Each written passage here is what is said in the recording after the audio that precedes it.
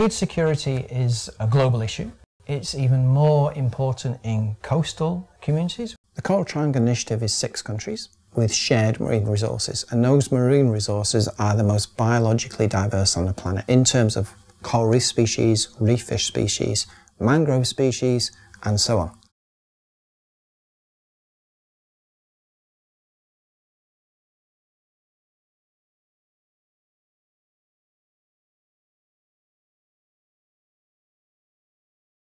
I've been involved in under research into marine resource use and marine planning in, in Indonesia since 2001. I've been looking at the processes by which marine national parks in particular are set up and how local communities can participate. One of my main points was focusing upon the uh, benefits to food security that can be achieved through appropriate forms of marine conservation. This work has been focused mainly in the Wakatobi and looking in particular at the Bajau community who um, have a very high degree of dependence on marine resources for food, fuel and, and building materials. One of the main findings that we've been developing over time is the need to ensure that marine parks do yield tangible, realistic uh, and obvious benefits for local communities.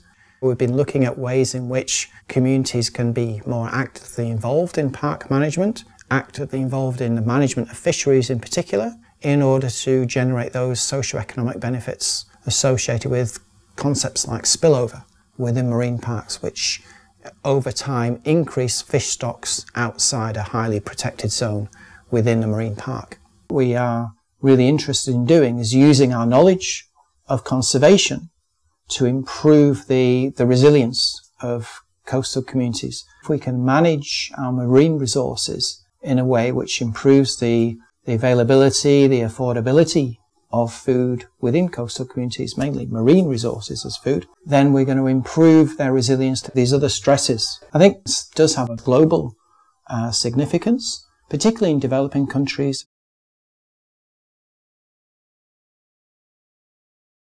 Indonesia has the second largest coastline in the world.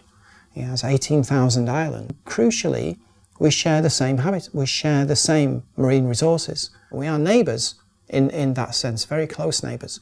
And we need to ensure that the efforts in marine conservation in both countries are complementary.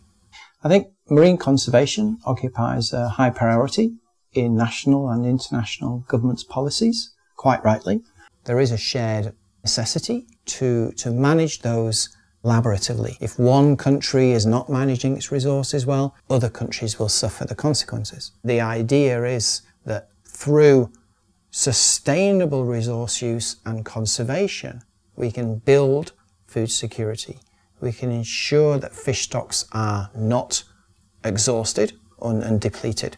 And we can give communities and natural ecosystems the best chance to be resilient to the impacts of climate change, which are already happening. I think both our governments are very, um, very behind, very supportive of closer, closer cooperation. I think universities can lead the way.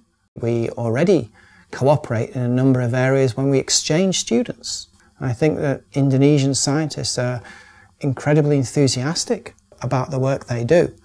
And if anything that Australia can do to export some of its knowledge, to export some experience or advice, is going to help Indonesians in managing their own resources.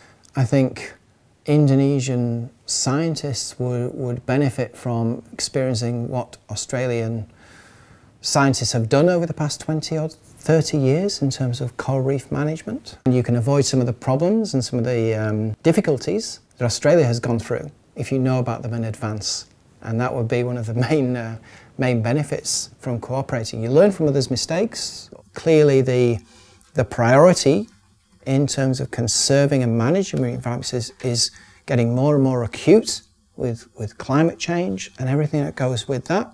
And we need to be acting now to make sure that we have something worth conserving in, in 50 years' time. And that's exactly what we're seeking to do.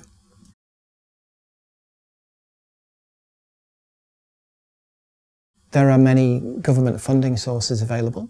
Um, the government has set aside a number of um, channels, a number of funding avenues which academics, institutions, and the private sector can apply to. It could be exchanges, could be internships, it can be seed funding for initiatives, it can be longer term collaborations across institutions.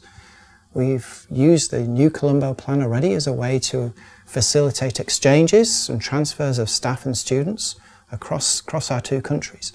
And I think this is an avenue which both countries can clearly benefit from. Conferences would be the first, most obvious one, but also through um, online sources. We, we, as within a university, there are many ways in which we publicize the work that we're doing. We put it on various types of websites and we get people reading our, our material and contacting you and saying, I'd like to find out more about this. And that on its own can lead to collaborations.